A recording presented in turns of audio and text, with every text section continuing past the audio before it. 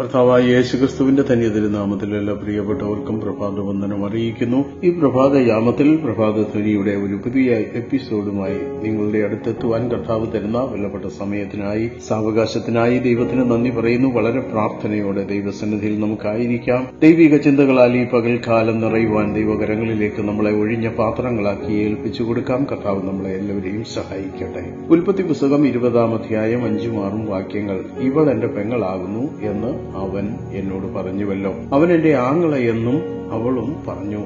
ഹൃദയ പരമാർത്ഥതയോടും കൈയുടെ നിർമ്മലതയോടും കൂടെ ഞാൻ ഇത് ചെയ്തിരിക്കുന്നു എന്ന് പറഞ്ഞു. അതിന് ദൈവം സ്വപ്നത്തിൽ അവനോട് അതുകൊണ്ടാകുന്നു അവളെ തൊടുവാൻ ഞാൻ നിന്നെ സമ്മതിക്കാതിരുന്നത്. അബിമേലേക്ക് ഒരു ജാതീയ രാജാവായിരുന്നു. അബ്രഹാമിനെ പോലെ ദൈവതേജസിന്റെ ദർശനമൊന്നും അവനുണ്ടായിരുന്നില്ലെങ്കിലും ഒരു വലിയ ദൈവഭയം അവനുണ്ടായിരുന്നു. ആ സ്ത്രീ ഒരു പുരുഷന്റെ ഭാര്യയെന്ന് അഭിമലേക്ക് അറിഞ്ഞപ്പോൾ അവനും അവന്റെ ഭൃത്യന്മാരും ഏറ്റവും ഭയപ്പെട്ടു എന്ന് എട്ടാം വാക്യത്തിൽ നമ്മൾ വായിക്കും. ദൈവം തന്നെ അവന്റെ ഹൃദയ പരമാർത്ഥതയെ സാക്ഷ്യപ്പെടുത്തും. അഭിമലേക്ക് തന്റെ വഴികളിൽ വിശ്വസ്തനും നേരുള്ളവനുമായിരുന്നതിനാൽ തന്നോട് പാപം ചെയ്യാതിരിക്കേണ്ടതിന് ദൈവം അവനെ തടുത്തു. ഇവിടെ ഒരു വലിയ ആത്മീക സത്യം നമുക്ക് കാണാൻ കഴിയും. നാം ചെയ്യുന്ന എല്ലാറ്റിലും ദൈവമുമ്പാകെ വിശ്വസ്തരും നേരുള്ളവരുമായി ഹൃദയ പരമാർത്ഥതയുള്ളവരായിരുന്നാൽ അബദ്ധത്താലുള്ള പാപത്തിൽ വീഴാതെ ദൈവം നമ്മെ സൂക്ഷിക്കും. അവൻ തന്റെ വിശുദ്ധന്മാരുടെ കാലുകളെ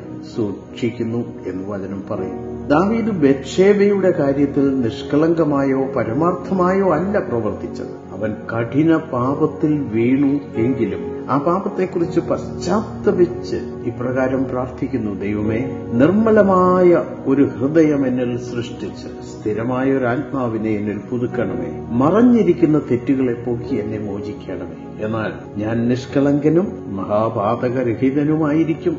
അൻപത്തി ഒന്നാം സങ്കീർത്തനം പത്ത് പത്തൊൻപത് പന്ത്രണ്ട് പതിമൂന്ന് എന്നീ വാക്യങ്ങളാണ് നമ്മൾ വായിച്ചത്. ആയതിനാൽ ദൈവ പൈതലെ നീ എന്ത് ചെയ്താലും ഹൃദയത്തിന്റെ പരമാർത്ഥതയിൽ പ്രവർത്തിക്കുവാൻ ജാഗ്രതയുള്ള വ്യക്തിയായിരിക്കുക. നീ ചെയ്യുന്ന ഒരു കാര്യത്തിലും ഹൃദയം നിന്നെ കുറ്റം വിധിക്കുവാൻ ഇടയാവരുത്. ദൈവഭയം ദോഷത്തിൽ നിന്ന് അകറ്റുന്നു എന്നറിഞ്ഞ് പാപം ചെയ്യാതെ നമ്മളെ തന്നെ നിയന്ത്രിപ്പാൻ നമ്മളെ തന്നെ ക്രമീകരിക്കുവാൻ പരിശുദ്ധാത്മാവിൽ നമുക്ക് ആശ്രയിക്കാം ദൈവം നമ്മളെ.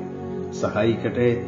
ഒരു നിമിഷം നമ്മുടെ കണ്ണുകൾ അടച്ച പ്രാർത്ഥിക്കാം. ഞങ്ങളെ അതിവാത്സല്യമായി സ്നേഹിക്കുന്ന ഞങ്ങളുടെ ദൈവമേ വാഴ്ത്തപ്പെട്ട സുഖിയ പിതാവേ മനോഹരമായി നല്ല പ്രഭാത സമയത്തിനായി സ്തോത്രം ചെയ്യുന്നു പിതാവേ ഈ പ്രഭാത യാമത്തിൽ അവിടുത്തെ സന്നിധിയിലേക്ക് അടുത്തു വരുവാൻ അവിടുത്തെ കൃപകളും അവിടുത്തെ നന്മകളും അനുഭവിക്കാൻ ഞങ്ങളെ അവിടുന്ന് സഹായിച്ചുകൊണ്ടിരിക്കുന്ന. വിധങ്ങൾക്കായി സ്തോത്രം. അവിടുന്ന് എത്ര നല്ലവനും ഞങ്ങളുടെ ജീവിതത്തിൽ രുചിച്ചറിഞ്ഞവരാണ്. അവിടുന്ന് ഞങ്ങളുടെ സങ്കേതവും ബലവും ഉറപ്പുള്ള ഞങ്ങളുടെ തല ഉയർത്തുന്നവനുമാകിയാൽ ഞങ്ങളെ സ്തുതിക്കുന്നു സ്തോത്രം ചെയ്യും. അവിടുത്തെ സന്നിധിയിലേക്ക് ഞങ്ങൾ അടുത്തു വരുന്നത് ഭാവി അവിടുത്തെ ഉപകാരങ്ങൾക്കും നന്മകൾക്കും എല്ലാത്തിനായി നന്ദി പറയുന്നു സ്തോത്രം ചെയ്യും. ഈ പ്രഭാതയാമത്തിൽ തിരുനാമം സകലത്തിലും മഹത്വം അളിക്കണമേ അവിടുന്ന് ഞങ്ങളെ കരുതുന്ന വിധങ്ങളെ ഓർത്ത് വീണ്ടും നന്ദി പറയുന്നു സ്തോത്രം ചെയ്യും. എല്ലാ മഹത്വവും പുകഴ്ചയും ബഹുമാനവും സ്തോത്രവും അങ്ങേക്ക് അർപ്പിക്കും പ്രാർത്ഥന കേട്ടതിനായി സ്തോത്രം മഹത്വം അങ്ങേക്ക് നാമത്തിൽ തന്നെ.